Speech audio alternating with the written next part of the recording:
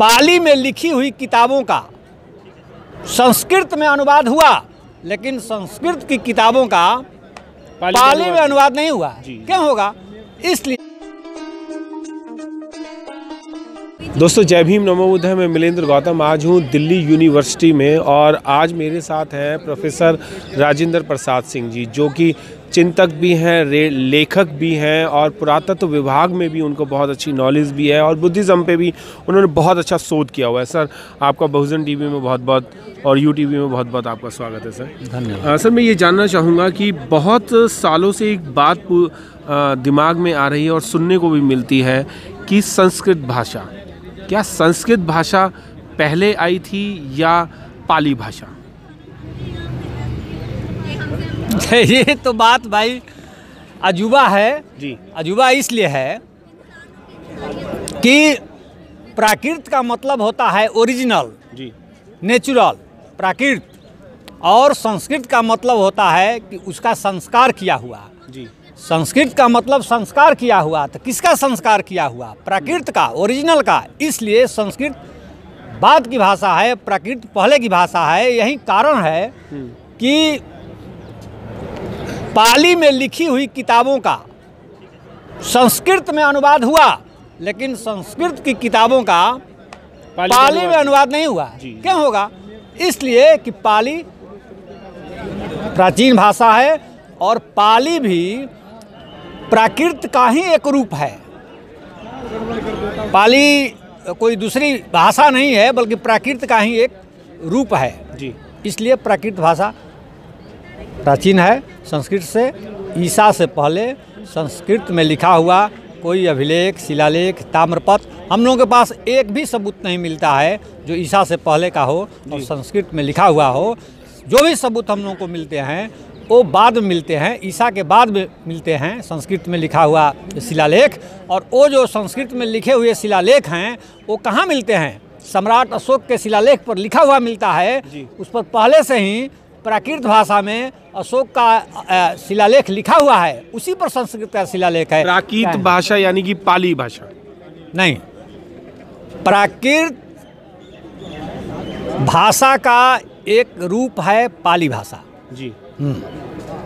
तो प्राकृत भाषा पहले आई थी फिर पाली आई थी और उसके बाद पाली प्राकृत का ही एक पार्ट है जैसे हिंदी की कई बोलियाँ हैं जी। परिभाषा अवधि उसी तरह वो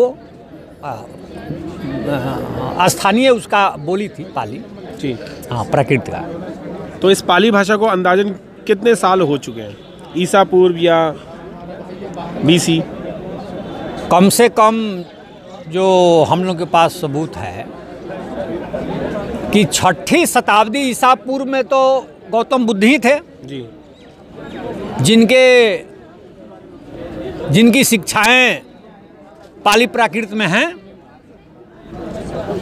लेकिन उसके पहले भी प्राकृत का अस्तित्व था क्योंकि भाषा रातों रात जन्म नहीं लेती है।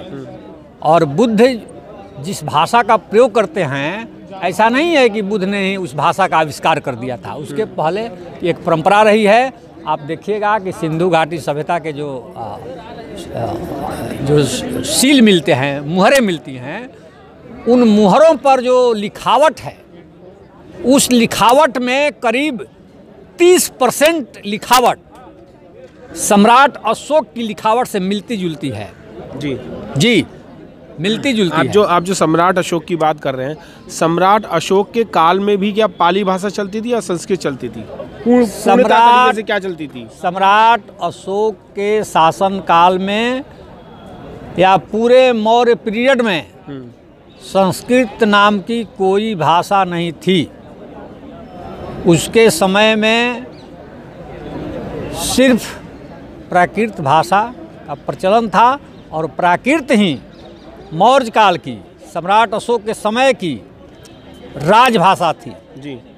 जैसे अंग्रेज़ों के ज़माने में अंग्रेज़ी राजभाषा थी मुगलों के ज़माने में फारसी राजभाषा थी उसी तरह अशोक के काल में प्राकृत राजभाषा थी। इसलिए उसके जितने भी ऑर्डर हैं शासनादेश हैं सभी प्राकृत भाषा में उन्होंने लिखवाए हैं। मैं एक चीज़ और पूछना चाहूँगा गौतम बुद्ध का जब ज़िक्र होता है तो गौतम बुद्ध को छब्बीस साल हो चुके हैं।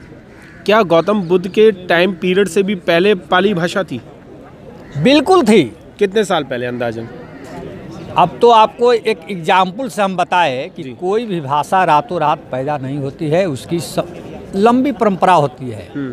अचानक बुद्ध थोड़े पाली भाषा बोलने लगे होंगे। जी। उनके बाबूजी उनके दादा बोलते होंगे तब ना बच्चा भी सीखा होगा। अच्छा बुद्ध बुद्ध का एक चीज़ और कहा जा जाता है कि 28वें बुद्ध थे ये। जो आज हम देख रहे हैं वो 28वें बुद्ध थे। तो क्या ट्वेंटी सेवन्थ बुद्ध जो पहले हुए थे वो भी पाली भाषा में रहे होंगे? नहीं।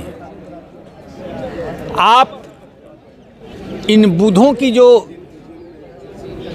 श्रृंखला है उसके नाम पर विचार कीजिएगा तो आप देखिएगा कि जैसे जैसे हम लोग गौतम बुद्ध से पीछे की ओर जा रहे हैं तो देखते हैं हम लोग की जो तेईसवें बुद्ध हैं चौबीसवें बुद्ध हैं तड़हंकर बुद्ध हैं।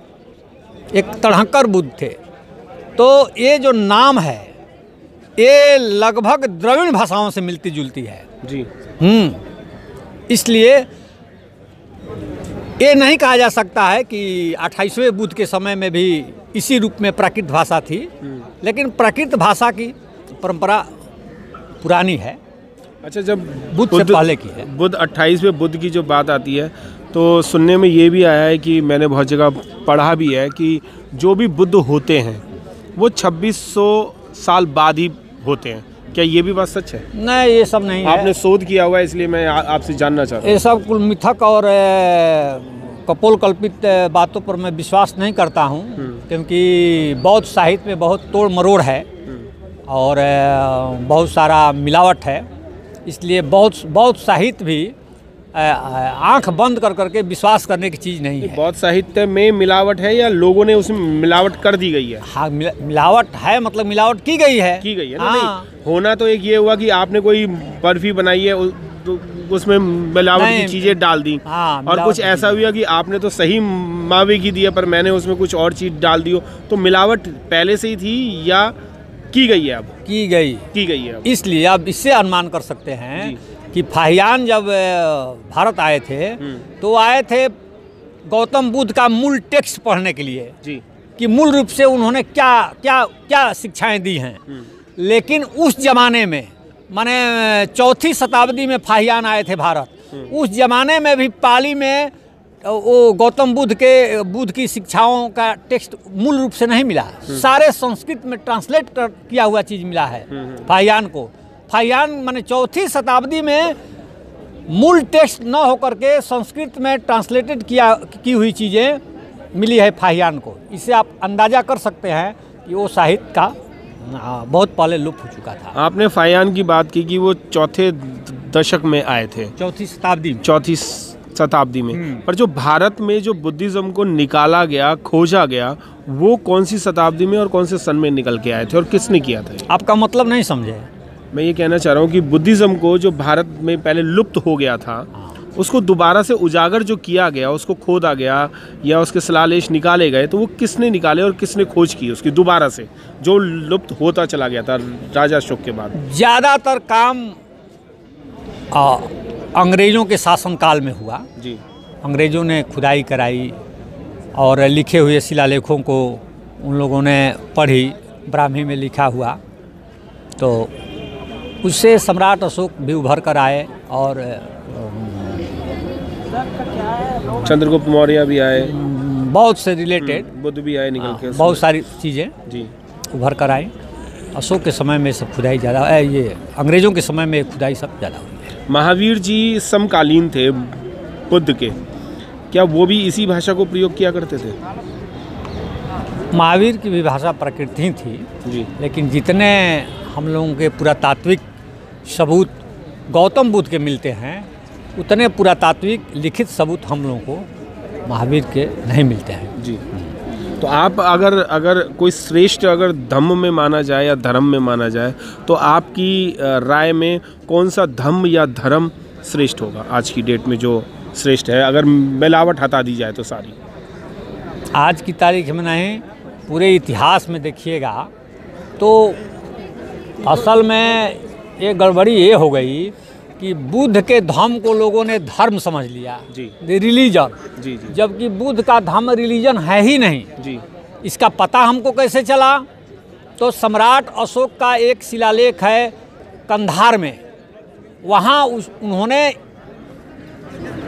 यूनानी भाषा में धम का ट्रांसलेशन करवाया है। तो उन्होंने क्या ट्रांसलेशन करवाया है? यूसेबिया। और यूसेबिया का अर्थ यूनानी भाषा में धर्म रिलीजन होता ही नहीं है। इसलिए बुद्ध का जो धर्म है जो धर्म है वह धर्म है ही नहीं जिसको आप लिए इसलिए आप जो पूछ रहे हैं कि कौन सा धर्म बढ़िया है यही गलत है। नहीं मैंने कहा धम्म और धर्म दोनों में। हाँ धर्म बुद्ध का धर्म मैंने पहले ही कहा है कि इस अर्थ में सर्वश्रेष्ठ है। इस अर्थ में रिलीजन के अर्थ में नहीं। जी। धम्म के अर्थ में विचारों के मामले में बुद्ध का जो धम्म है वो सर्वश्रेष्ठ है। और अगर हम धर्म की बात करें तो अपने आपने धम्म की तो आपने बता दिया कि धम- धम्म तो श्रेष्ठ है। धम- धम- और धर्म में क्या है? बुद्ध बुद्ध का धम्म जब धर्म में परिवर्तन हुआ परिवर्तित हुआ तो उसमें बहुत सारी खामियाँ आई और बौद्धिज्म बदनाम हुआ। नहीं तो वो ऐसे संदेश थे जो दूर दूर तक आप देख रहे हैं दुनिया में उनके विचार फैले। Korea Japan China Sri Lanka Burma